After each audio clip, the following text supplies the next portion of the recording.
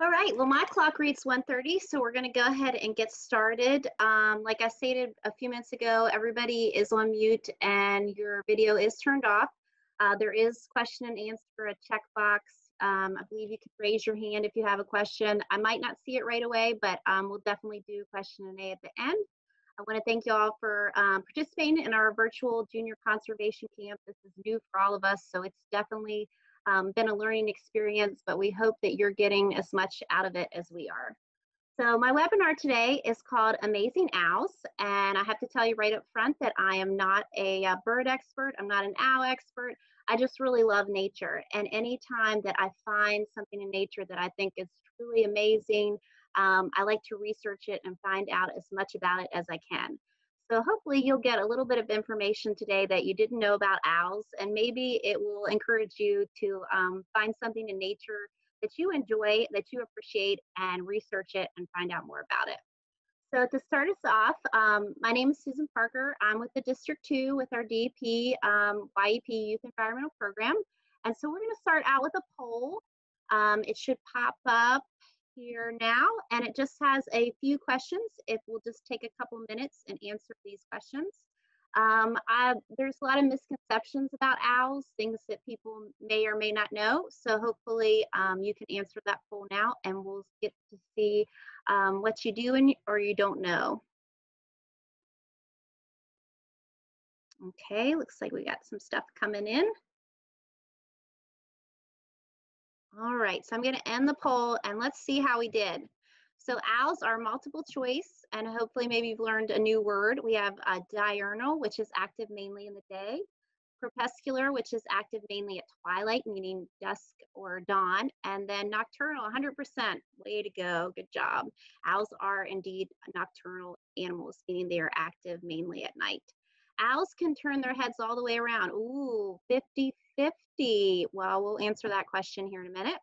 And do great horned owls have horns? Good job, 100%. They do not actually have horns. They have these tusks of uh, feathers. We'll talk about them too. And do owls have special feathers that help them fly silently? True with 67% um, and false 33%. Here are the results if you want to look at them. Um, so again, um, 67% is leading there. They do actually have feathers that help them fly silently, and we'll learn more about them too. So good job, everybody, on those polls, and we'll go ahead and get started. So um, owls, there are about 200 different owl species in the world. 19 are in North America, where we are. The biggest owl is called the great gray owl, and it can be upwards of two feet. Our smallest owl, which is appropriately named the elf owl, is only about as big as five inches, which is teeny tiny. Um, baby owls are called owlets. Um, a group of owls is called a parliament. I didn't know that. I thought that was pretty interesting. So owls are basically these amazing birds that are we considered night ninjas. They are nocturnal, they're active at night, and they're predators. Um, just like many of our other bird predators, eagles, hawks, uh, falcons, they are they are amazing hunters, and meaning they prey. Predators meaning they prey on other food sources. But what makes them really interesting is that they are active at night. So just like our other birds of prey, they have adaptations that make them able to be powerful hunters. And one of that is really powerful talons or claws. And you can see there in that lower right picture, they have some really um, sharp, large talons that they're able to grab up their prey. Um, owls can turn their heads, but not all the way around, only as much as 270 degrees, so almost. Um, they have special muscles and bones there in their neck that help them to, um, to turn. Someone said I still have my poll results up. Let's get those off of there. Sorry about that. Okay, so hopefully you can see the screen now. So owls also have amazing vision. So they have kind of tubular eyes, very different than ours. So it's almost like looking out of uh, binoculars. Um, this allows them to, they have these huge eyes so they can see pretty far, but they're not able to move their eyes. They're so large, so that's why they're able to move their head instead. And they have this really interesting third eyelid called a nictitating membrane that I'll show you um, in, a, in a short clip here in a minute that makes them really, really interesting. So owls are able to very quietly fly compared to other birds of prey, and it has to do with some adaptations of their wings. And the color of owls' feathers help them blend into the environment, which you guys know that term, maybe camouflage. Absolutely. Owls um, are very beautifully designed that they camouflage right into their um, surroundings. Owls actually will hunt other owls. Some of our bigger owls um, will prey on some of the smaller ones, but they're most known as a flying mousetrap. They eat the majority of rodents in our yard, um, particularly mice, but um, moles, shrews, um, smaller birds. They'll eat snakes, reptiles, insects, um, they also can, they'll eat possums and even skunks because they have really bad um, smell. So they're able to eat some things that we would find less desirable. Um, they also eat their prey whole, which is really amazing. They will eat everything, bones, fur, and feather and all. And then they actually regurgitate up what we call an owl pellet. And you'll get to see that too here in a few minutes. So that just gives you a little bit of basic information. So there they are sneaking through the night. They have these wonderful adaptations with their wings and their feathers that make it easy for them to sneak up on their prey. So this is something I mentioned about a third eyelid, this nictitating membrane. Um, owls are one of the few animals that have them. Some others that have them are polar bears, and they use that to reduce reflection because you know they obviously live where there's um, a lot of snow and ice. Also, alligators and crocodiles have them underwater so that they can see underwater. But owls have them because they are ambush predators. So they never know when they clamp on to their prey if it's going to fight back. So it's basically to protect their eyelids. And you can kind of see there already. See this clear white? That is that membrane. And you can really see it um, in this video. And there he goes. He'll flap. See? That's a nictitating membrane that helps to protect its eye. And I did not know that before I did this presentation, so I thought that was something really interesting to share. This is something else that makes owls really um, phenomenal predators. Example, our ears are symmetric, so they're both exactly on the same side of each the same side of our head. Well, when it comes to an owl, they're asymmetric, so they're just a little bit um, off of each other.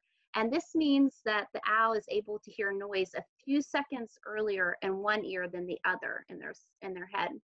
So this allows them to pinpoint where their prey is to more accurately swoop down and get it. So that's another adaptation that they have.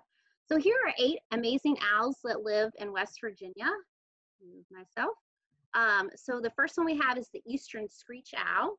We also have the great horned owl, which we know that those aren't horns at all, that they're actually just um, tusk of feathers.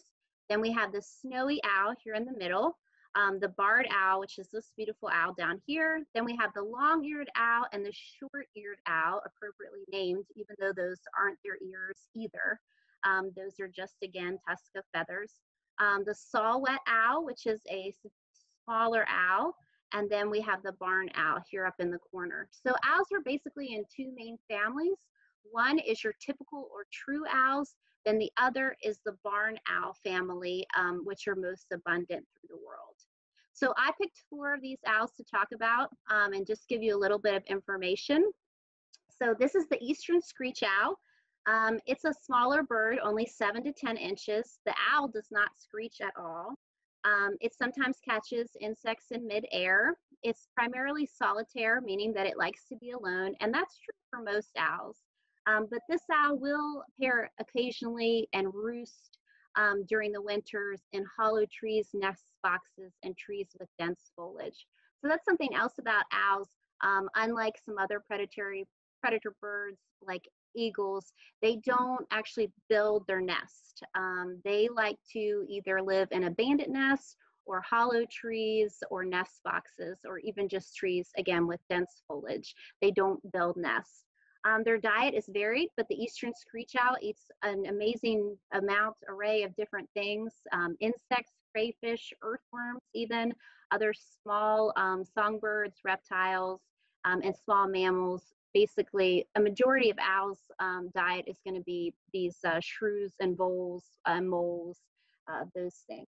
So we're going to listen to what an eastern screech owl sounds like, and you can let me know if you think it sounds like it's screeching.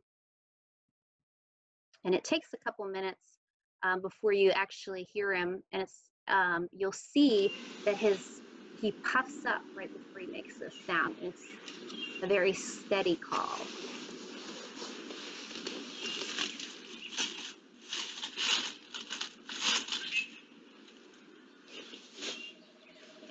Here it goes.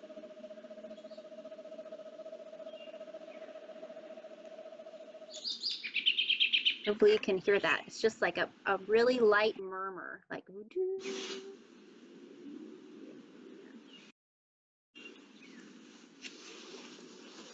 I just think it's really cool how he puffs up before he does the call.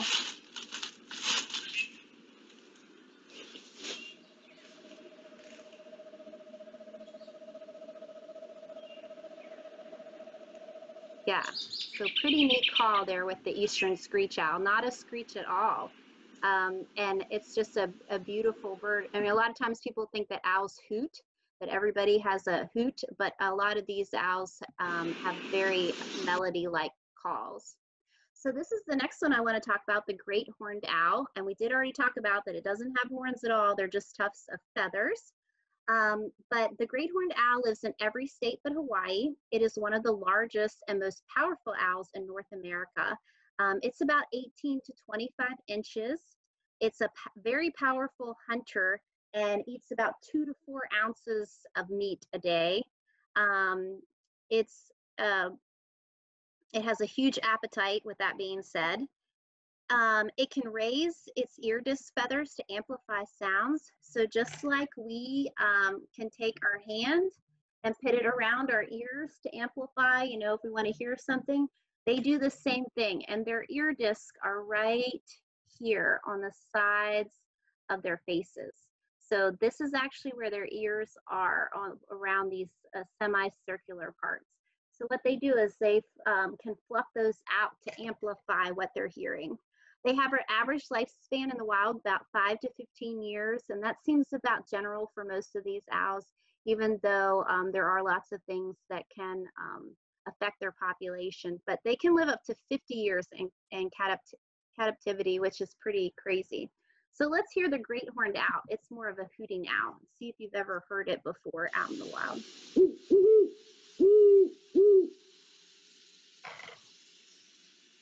Do you guys hear that? Pretty impressive. I'll do it again. So it's more of a hooting, and you've probably have heard that when you've been out. Yeah, really pretty sound with that one. So that's the great horned owl. I think it's a really pretty owl. Um, again, one of our larger owls. This is the barred owl, another interesting one. Um, it's about a medium-sized owl, 17 inches to 24. It gets its name from its pattern. You can see it kind of has uh, these black streaks over white and gives it a barred um, look. It's very vocal. A lot of people recognize its call and it sounds, this is gonna be a really bad interpretation of who cooks for you? Who cooks for you all? So you'll have to listen and see if you think it actually sounds like that. You'll often hear a chorus of two of them calling to each other, and I have had the privilege of hearing two of them call. Uh, one was on the edge of my yard, another was across the field in front of my yard, and they were calling back and forth to each other late one night. Um, it was beautiful to hear them call back and forth. And they say you can tell the female by a higher pitch if you ever hear them calling to each other. So again, it prefers to nest in natural tree hollows. Um, also, it will take over abandoned stick nests of other species. Uh, what's neat about it is if it encounters a predator that it thinks is um, comparable in size to it, it will puff its feathers out to kind of dominate that other um, predator. Or if it thinks that it doesn't stand a chance, it will slim down its body as so that it looks smaller and maybe even like a stick that blends in um, with the tree or, or environment and so on. So its average lifespan in the wild is 18 years. And it is a prey of the great horned owl, the one that we just talked about. The, the great horned owl will eat and prey on other, other owls. So we're gonna listen to its call. So it's supposed to sound like who cooks for you, who cooks for you all.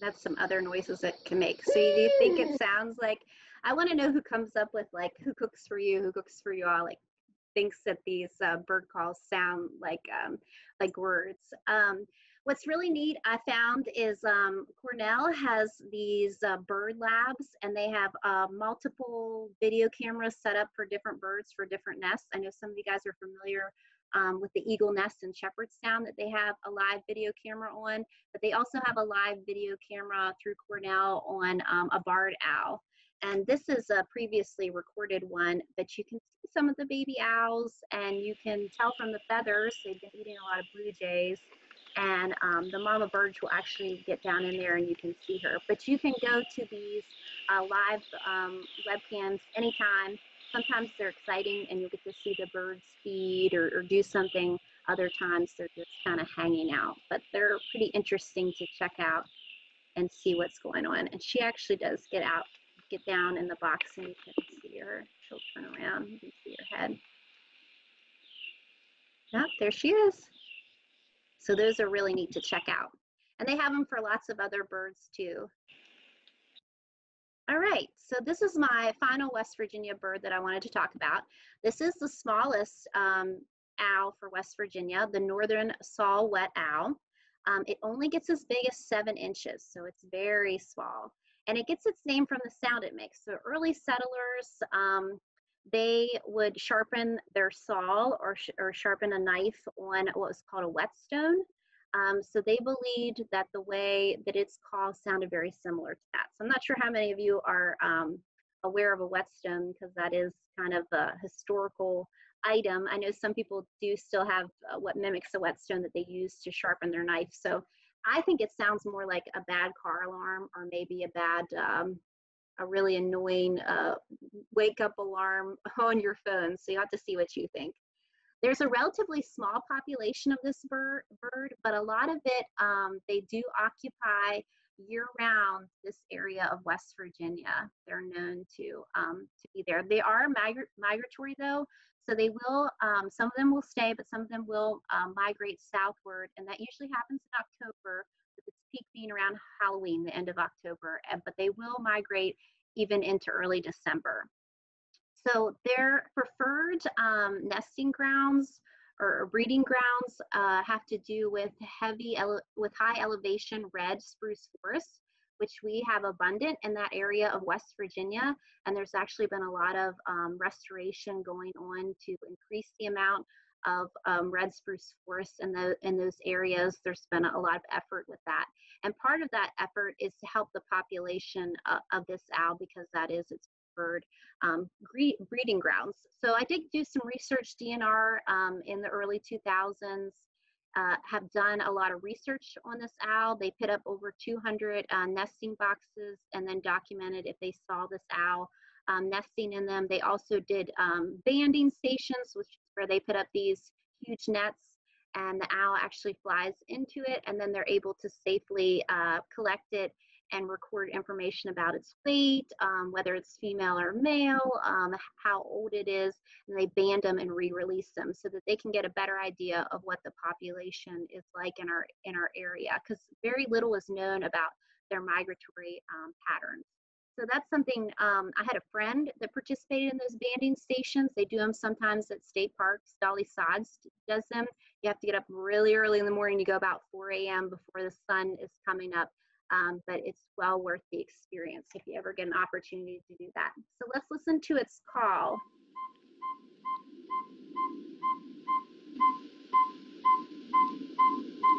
That's it, that annoying beeping that you would think is a car alarm is actually this owl. I'm gonna play it again.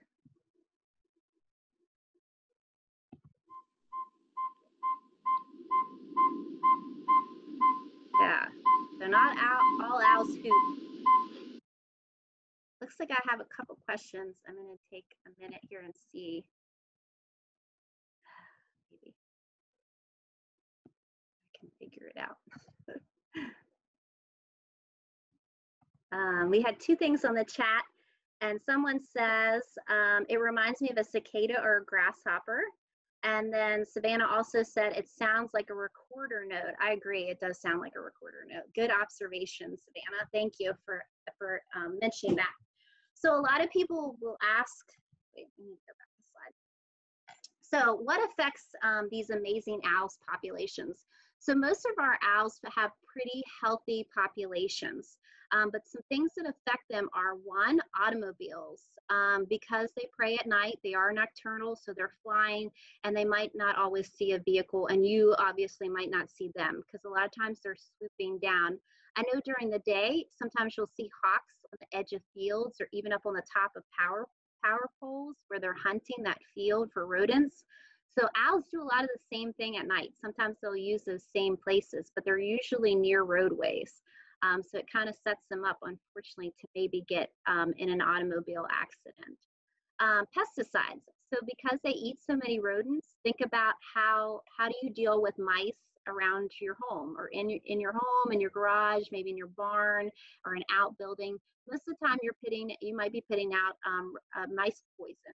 And what happens is that mouse um, eats that and in turn dies, but then it might be a, in a place where an owl sees it and captures it to eat it, and then they're also ingesting um, those rodicides that you're using. Litter, you can see from this picture, this poor owl got tangled up in some kind of string or fishing line. So it's important when you go fishing, make sure you're bringing all that stuff back out with you. Don't leave it behind for an animal um, to be distressed by, and that's for any bird or any um, aquatic life. Balloons. I know a lot of people think that balloons are wonderful to let go and release in memory of someone, but those balloons end up in our environment. They might end up in a field where there's livestock. They might end up in a tree where this bird nests and it could get wrapped up in it um, or ingest it thinking that it's food, and in turn, it's, it's detrimental to the animal. Um, reduced habitat. You know, we talked about these birds really like hollow cavities and trees. So a lot of time those are trees that aren't always the healthy healthiest. So people are more likely to cut them down, thinking that they might fall on their own. But if it's a sturdy tree with a hollow cavity and it's not in a position where it's going to hurt your property or your, your home or even anybody humanly harm, it'd be great to leave it because it's an additional um, habitat for, for animals, um, especially owls. Other ways you can help is volunteer or donate. Um, what comes to mind is the West Virginia Raptor Rehabilitation Center that's in Fairmont. Um, they're always looking for volunteers. You can also donate um, towards their needs to care for these animals, uh, injured owls especially. And then there's these owl nesting boxes. So I have a picture there, and this one actually you can buy um, handmade online but there's lots of tutorials on how to make your own. So this might be something um, that interests you to do on your own property. This might be a great group activity to do some owl nesting boxes and put them on a wildlife management area or in a state park, of course, with permission and coordination. But I just think that that would be a tremendous help to these owls population because we, you know, even though they are healthy right now, there's always fluctuations and we need to um, consider that to make sure that they continue to stay healthy. Okay, so I get this question, um, I'm sure, you know, what do you do with an injured bird or an injured owl? So the first thing being the ages that you are would be to get an adult. And I would even say that for myself. I would never try to um, help a bird or an injured animal by myself. Um, you got to remember, these are predators. They have those huge talons and claws. Um, they have very sharp beaks. They could cause a lot of injury to you. So the first thing you want to do if you are considering helping a bird, um, my first suggestion would be to contact your these rehabilitation center, your local DNR or a veterinarian, just to make sure that you have a place to take this animal once you're able to safely um, safely collect it. So first off, you want to make a note of the location of the bird because once that bird is rehabilitated, um, it will hopefully be able to be released back into the wild and they want to release it in its natural habitat, its natural territory.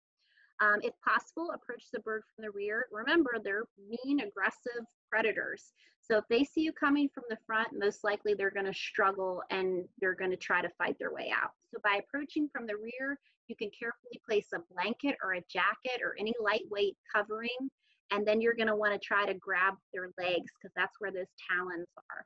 Um, again, I would um, refer to an adult for help and bring in a professional. Um, the last thing you can do if you are able to um, capture a safely a, a bird, an, an injured owl, you want to put it in a cardboard box. And that box, you don't want it too big that the animal can thrash around, and you don't want it too small that it's suffocating. You just want it to be a little bit bigger than their size. And then time is of the essence, being able to get it to um, a rehabilitation center or someone that is knowledgeable, um, a veterinarian or West Virginia DNR. But please remember that all birds of prey are protected by our state and federal law, and it is illegal to harm, harass, or possess any bird of prey. So do what you can, um, do it safely, and again, promote that to other people that it is illegal to harm, uh, harm them or possess a bird of prey. Okay, so we had talked about one other thing um, in the beginning of the presentation was how owls eat everything whole. They swallow it all up and they regurgitate it into an owl pellet. Um, so these owl pellets can range in size depending on how big the owl is. Obviously, a bigger owl is going to eat more, therefore producing a bigger owl pellet. Um, they regurgitate these about once a day. They include mostly bones and fur. Um, I purchased this one online. You can purchase them online as well. A lot of rehabilitation centers offer them up um, which is great because then that money goes back to the cause. And I have here a bone sorting chart, which I talk about, and I'm going to go ahead and play this video of me um, pulling apart. So I'm going to show pellet. you how to do um, an owl pellet. That's something that we talked about in the presentation. So I have purchased an owl pellet online. I purchased several actually. So they are heat steamed, um, sanitized, so that you can safely um, dissect them. So this is actually a barn owl pellet, um, owl pellet. And as you can see, it's very darkly colored. It at first looks a little bit hairy too. So over time, um, you know, a lot of this is, is hair and uh, the coloring really comes from what they've been eating. So the easiest way to dissect them is really just to break them apart. And you can use tweezers or toothpicks or whatever, but I'm just going to use my hands. Um, so I have a bone chart with me, um, and this talks about uh, rodents, shrews, which are very similar to moles, moles, and birds. And then it has a display of what the different bone parts would look like, particularly the, the skulls. Um, we have the jaw, shoulder blades, front legs, your hips, um, hind legs. And as you can see, the, the bones look a lot like um, bones that we have, just on a very much smaller scale. So we'll see what we can find. I've done a couple pellets before and I was able to get some skulls out of them, which I have them here. Hopefully you can see that. So we'll work on this one and see what all we can find. Um, you typically find a lot of smaller bones. And I purchased this owl pellet online, but a lot of our raptor um, rehabilitation places, you can purchase um, them from, from them um, which is helpful because that's money that goes back into their care and um, taking care of um, these uh, these rehabilitated birds. So here, if I'm looking at my diagram, um, this bone looks like a part of a I am going to say either the hind leg of a rodent or um, part of a shrew's hind, hind leg. Very similar. Um, let's see what else we can find. It is uh, very fluffy, hairy, because you're dealing with all of this um, mice fur. And they regurgitate about once every day. So this I'm looking at um, looks to be a jaw of a rodent and it's actually broken off. Not sure if you can see that or not. And I have, this looks like a skull coming out of this piece. And of course, um, the more time you take to really do it, the better intact the bones are, and you can see more so this is actually the skulls. Most of the times with the skulls, you'll find that um, the top top part of the skull and the bottom jaw jaw part are usually not together. But this one looks almost like it is. I could be wrong. As you can see, um, the eye sockets there, um, taken out around. And um, the rest of the head there. I keep pulling off more of the fur. Yeah, and you can see kind of, there's the bottom jaw, the skull. See, it's still intact, which you don't get that um, lucky very often. Yeah, that's pretty Lots of bones you'll see right away when you start into it. Um, there's lots of teeny tiny bones. So it's really cool to take it apart and then try to figure out um, what you're looking at. So this looks like um, part of the jaw and this little tip here looks like a tooth and if I pull it should come out. Here's a tooth of a rodent. Rodent, yeah. And we've got other jaw pieces. Uh, typically in a in a pretty decent sized owl pellet like this one, you'll get at least two, three skulls, depending on what size they are. So I'm not gonna um, completely dissect this one just for the sake of time. I will later, um, but I just wanted to let you see what it was like when you actually take one apart. And um, I encourage you, you can um, easily get them online, get one and dissect it and um, take a look at all the different. Yeah, so they are really cool. It is really furry. If you're not into animal fur, I wouldn't suggest it. But when you break it apart and see all of these teeny tiny little pieces, even like the vertebrae and the ribs, and line them out, it's, it's really interesting. And I apologize, my video wasn't exactly as clear as I'd like it to be, um, but there are some really great videos online of dissections um, where you can see the bones a little bit better than I did. But if you're looking for a fun project, um, they're pretty inexpensive. You can go online and purchase one and then dissect it on your own. Um, so that completes my presentation today. Um, just a few resources. Cornell Lab um, has those bird cams that I talked about, um, the barred owl one. I know they have several eagle ones, even some bird feeder ones if you just want to jump online and see what those birds are doing from day to day. Uh, National Geographic has a lot of great information about owls, really good videos. Audubon for Kids. Audubon is a wonderful um, resource for anything with birds and Audubon for Kids actually has um, some specific uh, presentations on, on owls and some activities that you can easily do at home. Um, if you're if you're here today, that means you're participating in our virtual camp. Thank you very much for, for checking it out.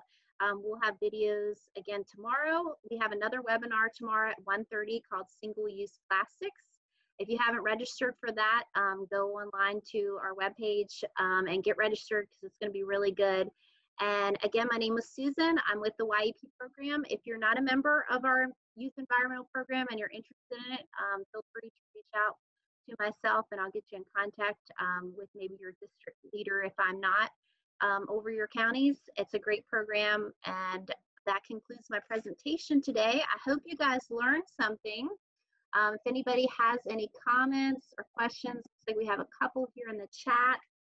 Um, Ruby wants to know if baby owls are born with sharp claws. Um, they are, but they, they of course grow in time and get longer and sharper. Um, someone said, thank you, that was really cool. Thanks, Vanna, appreciate it. And JD, thanks for logging on today. I hope you guys enjoyed it and um, hopefully we'll catch you tomorrow on another uh, great webinar that my coworkers are doing.